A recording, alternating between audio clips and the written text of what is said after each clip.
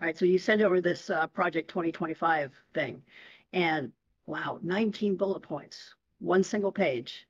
Feels kind of huge, like a how-to guide for a whole different America. What'd you make of it all? Yeah, no, it's definitely, I mean, it's a bold statement, I guess, laying it all out like this. It's like, all right, here's a potential future, right? And seeing how these points all play together, that's the key. Totally. Because, like, one by one, some of this stuff, it's healthcare, climate, the usual headlines, right? But then you put it all together. Okay, let's just jump in. First up, put Medicare on the path to privatization. Like, haven't we been kind of dancing around this one for a while? Yeah, for sure. This has been in the background for years. And this feels like, okay, here's the concrete step. The argument you always hear is privatization, it equals lower costs, right? Right. More competition, theoretically. But then the flip side, and it's a big flip side, what happens to the people who depend on Medicare now? Could be making healthcare less accessible for the folks who need it most, ironically. Yeah. And you're right, that whole impact on everyday people, it's like a thread through this whole document. Like point two, repeal President Biden's Medicare drug price negotiation program. So basically, government's out of the cheaper meds business. Basically, it's a signal, right? Less government involvement in healthcare costs, period.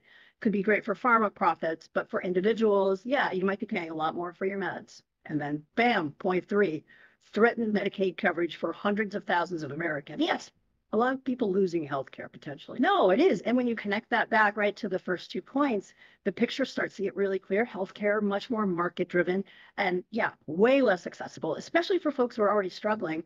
We're talking about a huge chunk of the population here. It's wild, right? And it's not just healthcare. Point four takes aim at education. Reverse the Biden administration's student debt relief efforts so much for those loans disappearing. Yeah, so this one is basically saying you're on your own when it comes to student debt. And listen, some people make a good argument for that individual responsibility and all that, but for a lot of people, it means going back to a system that wasn't really working. And then out of nowhere, we're global. Withdraw from the UN Framework Convention on Climate Change and the Paris Climate Agreement. Yeah. Haven't we seen this movie? Spoiler. It doesn't end well. Big one, pulling out of these agreements, it's basically saying America first, even if it means maybe screwing over the planet. A little dramatic, but it makes you wonder what America's role in the world even is anymore, you know, for real. Okay, then we get a whole bunch of points all about climate, all about energy. Point six, repeal the Inflation Reduction Act, President Biden's landmark climate law which, and this is key, right, included a ton of money for clean energy. So repealing it, huge impact on renewables for sure. And it's basically saying those climate goals, yeah, we're not in a hurry. And just in case you thought maybe they were being sold, 0.7. Shred greenhouse gas regulations and gut clean energy programs. Like, come on. Yeah, no subtlety there. This is straight up deregulation back to old school energy. Air quality, water quality, all that stuff gets impacted. And not just in the long run, like right now, communities living with pollution, they're going to feel this. Like they're setting the stage, right? Yeah, for point eight replace the White House climate advisor with someone focused on boosting the fossil fuel industry. I mean, not even trying to hide it at this point. Fossil fuels are back, baby. At least that's the message. And then I don't know how they top this, but they do. Point nine, give Trump the power to reject all climate science research directed by the Biden administration. It's just scary, honestly. It's chilling, yeah. Because if you can just ignore science that doesn't fit your agenda, where does that end? You know, it makes everything about politics, not about facts. And with something like climate change, that's terrifying, 100%. Okay, so we're already talking about a very different America, right? Yeah, but then it gets even wilder when you see how they want to change the government itself. Point 10 gut the federal workforce and install loyalists by making tens of thousands of civil servants fireable at Trump's will. Is that even legal, debatable, honestly. A lot of folks are going to say that's straight up unconstitutional because the idea of one person having that much power to just fire anyone who disagrees with them, talk about favoritism, talk about corruption, the whole system falls apart, you know? Okay, and if the system's falling apart, then this next part is really scary. Point 11, allow Trump to deploy the military against American citizens. Um, excuse me, when do we start talking about this? This is a huge deal. We have something called the Posse Comitatus Act for a reason. It limits the military's involvement in domestic affairs. And for good reason, right? You start ignoring that. You're talking about human rights violations. You're talking about a very different kind of America. And it just gets more intense. Point 12 allow ICE to conduct raids at schools, churches, hospitals, playgrounds, and other sensitive areas. This is like creating a police state. Right. Especially for immigrant communities. It's about fear, right? You're not safe anywhere, even in places that are supposed to be sanctuaries. Families, kids, everyone's terrified. And honestly, it's probably illegal. Okay, and then we get to this whole section on social issues, and it's like, well, it's very specific worldview, let's say. At point 13, make the federal government establish marriage between a man and a woman as the ideal natural family structure. Didn't we already settle this? This is about going backwards, right? Defining marriage at the federal level and specifically excluding same-sex couples. Huge legal mess, obviously.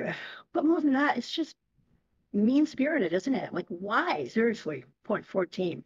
Withdraw federal anti-discrimination protections for transgender students. So basically, make schools less safe for kids who are already vulnerable. Exactly. Bullying, harassment, all that's just going to get worse. And for what? It's like they're saying these kids don't deserve to feel safe. It's awful. It is. And it just keeps going. Point 15. Implement Trump's transgender military ban and expel transgender service members. So now people who are willing to serve their country, put their lives on the line, eh, they're not good enough. It's discrimination, plain and simple. And it's heartbreaking because you're telling people your service, your sacrifice, it doesn't matter because you're different. It's wrong. And that same kind of thinking, it just goes right into the next few points, all about reproductive rights. Point 16, reverse the FDA's approval of abortion medication. Huge if it happened. We're talking about taking away a safe legal medical option for women. And it's not just about abortion, it's about controlling women's bodies, making decisions for them. Exactly. And of course, they take it even further. Point 17 invoke a 150 year old defunct law called the Comstock Act to ban the shipment of abortion pills, enacting a de facto national abortion ban. Are you kidding me with this? A 150 year old law. They're digging deep for this one. The Comstock Act, it was all about banning obscene stuff which back then included things like information about contraception. It's been considered ridiculous for decades, but they're trying to bring it back to control women's health.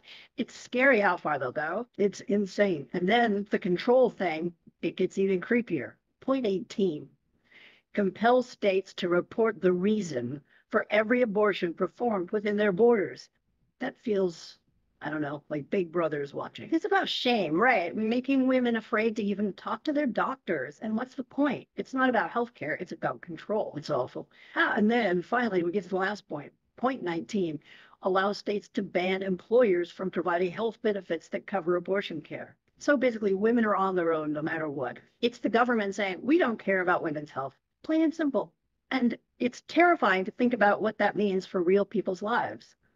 So we covered a lot. It's a lot to take in. What's the takeaway for you? What do you want people to be thinking about after this? Look, I don't care what side of the aisle you're on, this document, it's a vision of the future.